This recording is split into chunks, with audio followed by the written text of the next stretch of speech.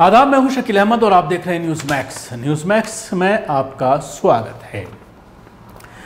अभी लोकसभा इलेक्शन को ज़्यादा वक्त नहीं बीता है और जिस तरह से मोदी टू में सरकार बनाई गई 303 एमपीज बीजेपी के अकेले आए और पार्लियामेंट में दावा किया गया कि पूरे देश में बीजेपी के फेवर में एक माहौल बन रहा है। लेकिन कल जब नतज सामने आए तो हरियाणा में जिस तरह से बीजेपी अपने दम पर सरकार बनाने में नाकाम रही सपोर्ट लेना पड़ रहा है इंडिपेंडेंट एमएलए का, और उसके अलावा महाराष्ट्र में भी बीजेपी का ग्राफ गिरता हुआ नज़र आया। बीजेपी खुशी मना रही है।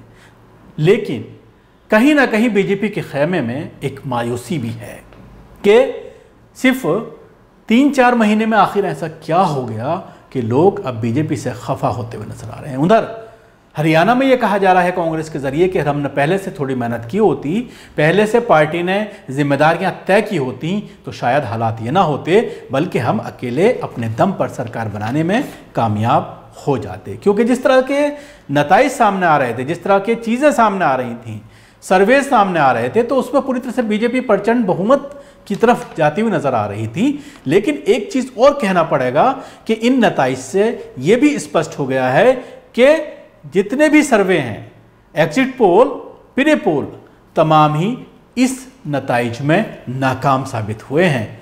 और एक मीडिया का चेहरा बेनकाब इनके ज़रिए कर दिया गया है।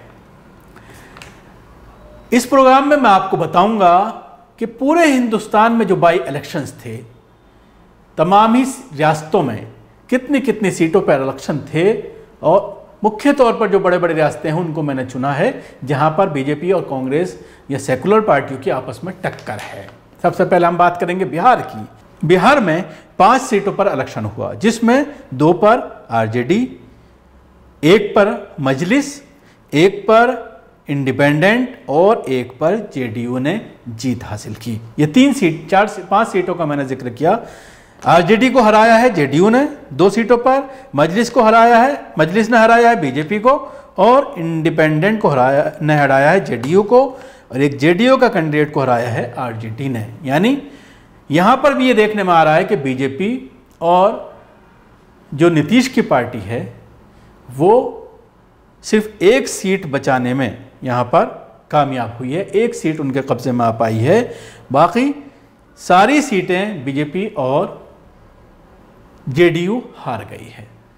तो ये भी यहाँ पर भी ये कहा जा सकता है कि एंटी एंटी इनकन्वेंसी और मोदी के खिलाफ जिस तरह से माहौल अब बनता जा रहा है, इकोनॉमिक पर जिस तरह से बैंकों को लेकर एक तरह से माहौल बन रहा है कि किस तरह से बैंकों के हालात हो रहे हैं, लोग अपना पैसा नहीं निकाल पा रहे हैं, रोज़गार को लेकर सवाल खड़ा किया जा रहा है तो शायद यही वजह है, लालू की पार्टी को बढ़त वहाँ पर हासिल हुई है। लेकिन इसके साथ ही मैं एक चीज़ आपको बताना चाहूँगा कि दूसरे नंबर पर जो नाथनगर से रही हैं, राबिया खातून, आरजेडी की। वो, उनको भी काफ़ी वोट जो है, उनका वोट काटा गया है। कुछ मुस्लिम कैंडिडेट उनकी सीट पर खड़े हुए थे, जिसकी वजह से उनको नाकामी हासिल लगी है और राबिया खातून को हार का सामना यहाँ पर बिहार में करना पड़ा है। अब गुजरात की बात करते हैं। गुजरात में सबसे बड़ी बात यह है कि छः सीटों पर इलेक्शन हुआ था। छः में से तीन कांग्रेस और तीन बीजेपी के हाथ में आई हैं। लेकिन सबसे बड़ी बात अल्पेश ठाकुर जिसका नाम आपको याद होगा अभी कुछ दिन पहले ही कांग्रेस को छोड़ करके उसने बीजेपी ज्वाइन की थी। लेकिन 3,807 वोट से उसने सीट गंवा दी है हार गया है। यानी सबसे बड़ा झटका इसमें अल्पेश ठाकुर को लगा है। अल्पेश ठाकुर जो कुछ दिन पहले ही कांग्रेस छोड़कर बीजेपी में गए और उसके बाद वहाँ से उन्हें हार का सामना करना पड़ा। मध्य प्रदेश में एक सीट पर इलेक्शन हुआ था असेंबली की, जो कांग्रेस के हाथ में गई है।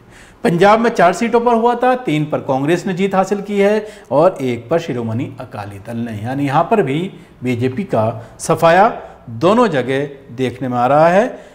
उसके अलावा हम केरला की बात करते हैं। तो केरला में पाँच सीटों पर इलेक्शन था। कल भी मैंने आपको बताया था कि दो मुस्लिम कैंडिडेट यहाँ से जीत करके आए हैं। दो सीपीआई, एक मुस्लिम लीग और दो इंडियन नेशनल कांग्रेस। यानी पाँच सीटें ये इस तरह से लोगों को मिली हैं।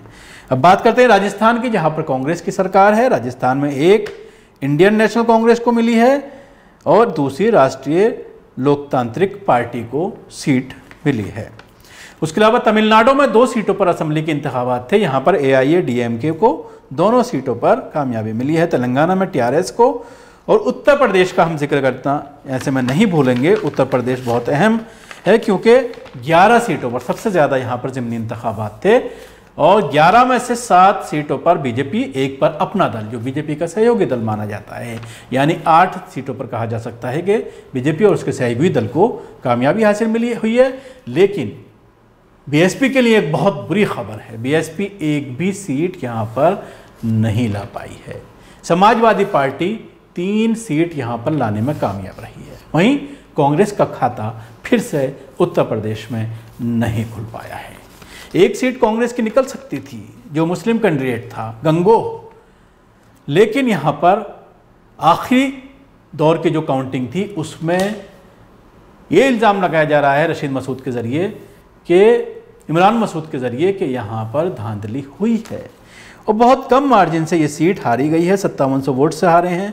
बीजेपी को अड़सठ हज़ार दो सौ सैंतीस, कांग्रेस को बासठ हज़ार आठ सौ बहत्तर, समाजवादी पार्टी को सत्तावन हज़ार तीन सौ बावन वोट मिले हैं। यहाँ पर समाजवादी पार्टी वोट सपिया, वो वोट कटुआ साबित हुई है। उसके अलावा बीएसपी को बत्तीस हज़ार दो सौ सत्ताईस वोट मिले हैं। बीएसपी को भी अच्छे खासे वोट मिले हैं।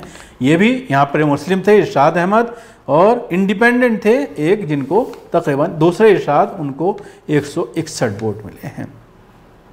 यानी अगर बीएसपी भी यहाँ पर बीएसपी का जो वोटर था, वो भी अगर अंदाज़ा लगाता पहले से इरशाद के कुछ वोट अगर डाइवर्ट हो जाते, नौमान मसूद की तरफ़, कांग्रेस की तरफ़ तो यहाँ से भी एक मुस्लिम कैंडिडेट निकल सकता था। तो सबसे बड़ी बात जो है वो बीएसपी को यहाँ पर झटका लगा है। बहुत बड़ा झटका लगा है। क्योंकि बीएसपी की एक भी सीट 11 में से नहीं आ पाई है।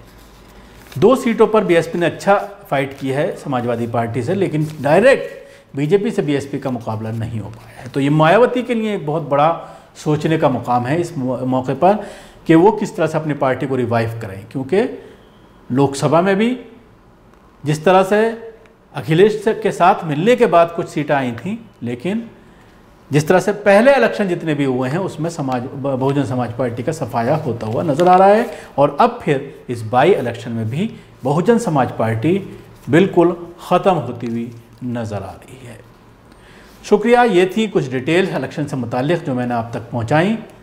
हमारे चैनल को सब्सक्राइब करना ना भूलें, इसके साथ ही बेल आइकन ज़रूर दबाएँ। धन्यवाद।